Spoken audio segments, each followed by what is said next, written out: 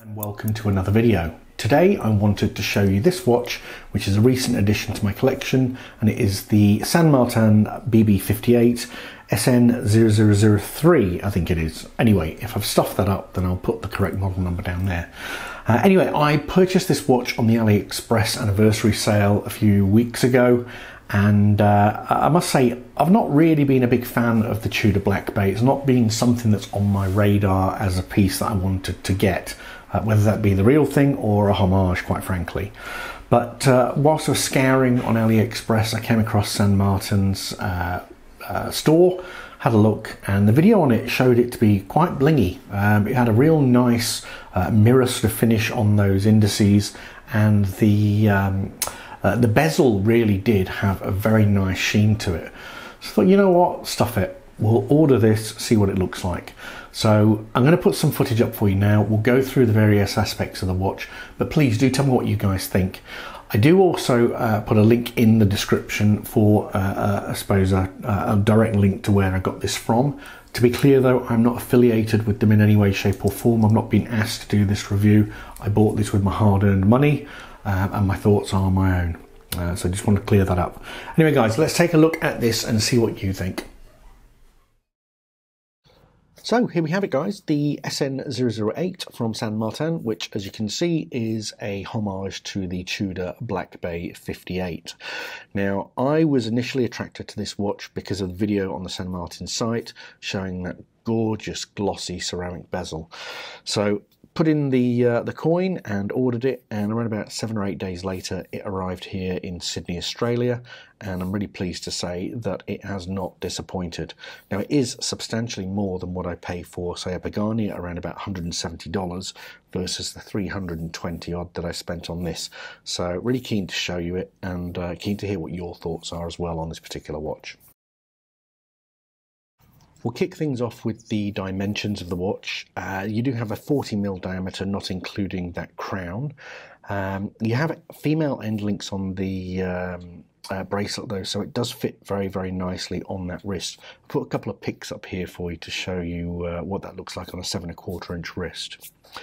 Um, in terms of height, so from top of bottom lugs, you've got 49.3 mils. Uh, you've got 11.9 mils, there, thereabouts 12 mils of thickness, and you've got 20 mil lug width. So you can fit straps and that quite easily to uh, change the look of this watch. We'll start things with, uh, I suppose, a broader view of what that uh, bezel and dial look like in a bit of sunlight. You can see there it really does have a very nice sheen and gloss to it that, uh, that I find really pleasing anyway. In closer detail, the engraving on that bezel is really, really good, and the lume pip being slightly recessed uh, was certainly something that uh, I felt was a little bit better than that raised sort of pip, which I have found through experience can be scratched or knocked off and just make the watch look a little bit scruffy. I have to say that I'm really impressed with the finishing on this case. You've got those lovely brushed um, tops and sides, and then just on the edges there, that nice polished chamfering. I'm sure over time it's going to get scratched and dinged and what have you, but for the time being, as a new watch, the finishing on this watch is absolutely fantastic. Another point to make is the bezel action on this watch is really, really good. Uh, I found it to be very crisp, precise, and uh, very little back play. But I'll shut up now and let you hear what that bezel action sounds like.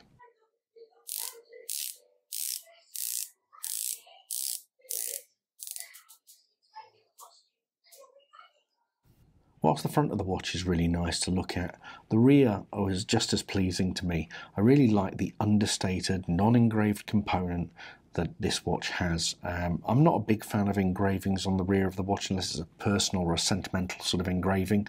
But uh, like I say, this I found really to be understated, quite clean, and um, just just exudes a little bit of class, I think. Side of the bezel's got really crisp engraving, so those teeth uh, very nice, easy to grip to adjust that bezel. You can see there you do have a slightly domed sapphire crystal.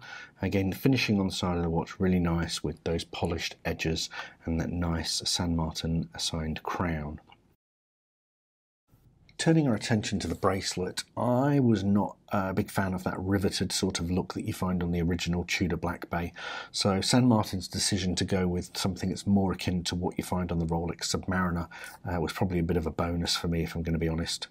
Uh, you do have 20 mil end links, solid end links at that as well, and you do have that nice uh, signed uh, engraved San Martin clasp. Machining overall I found to be very, very good, and the tolerances, there was very little flex in that bracelet. I couldn't really find any sharp edges, or certainly nothing that, uh, that would concern me on a day to day basis. The one thing I would say though is because of that clasp having that sort of brushed finish, you can see there there are a few scratches already from uh, actually scratching on my MacBook, uh, just aluminium on steel. So just be aware your watch isn't going to be uh, staying perfect for too long. Lume on the watch, very, very good. You can see there that photo showing the bright blue. Uh, once it's settled down, it does have a longevity to it that will see you throughout the night. So 3 a.m., 4 a.m., low light situation, checking the time on your wrist. If you do wear your watch in bed, uh, you're going to have no problems at all with this.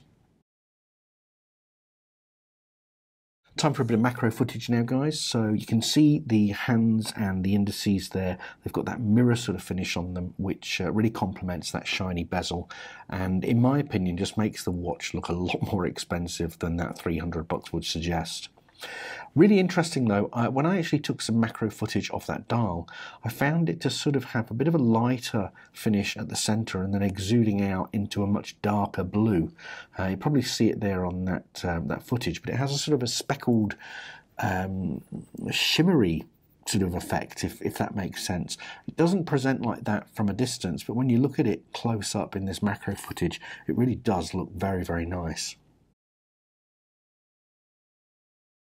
So here's the watch on my seven and a quarter inch wrist.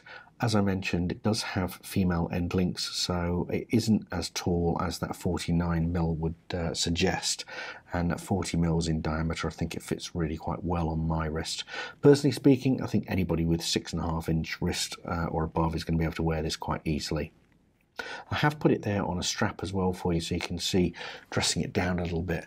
And uh, the strap makes this watch feel very, very light. That is a sailcloth strap by Artem.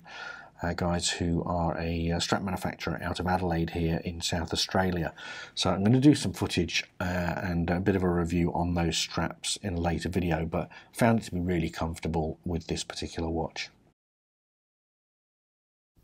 Whilst overall I'm really impressed with the quality of this watch and the finishing, there is one minor niggle, and that is the fact that this watch doesn't have a date window on that dial. Now that makes for a very clean and balanced look, uh, but the movement inside used on this is the Seiko NH35, which does have a date functionality. So the end result is, is you screw that crown out, pull it out to the first position and you've got a date function and no window to show that date function. Pull it out to the second and obviously you can adjust the time.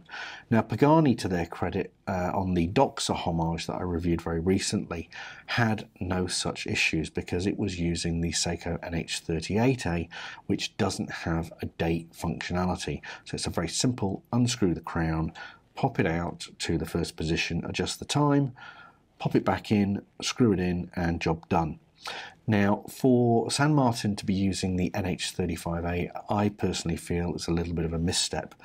It's not in line with how this watch uh, is perceived by myself anyway uh, as a you know slightly more expensive or you know what uh, if hoping this makes sense a luxury Chinese brand uh, it is a step above, in my opinion, above what you find in finishing from Pagani and some other brands, and the pricing does reflect that.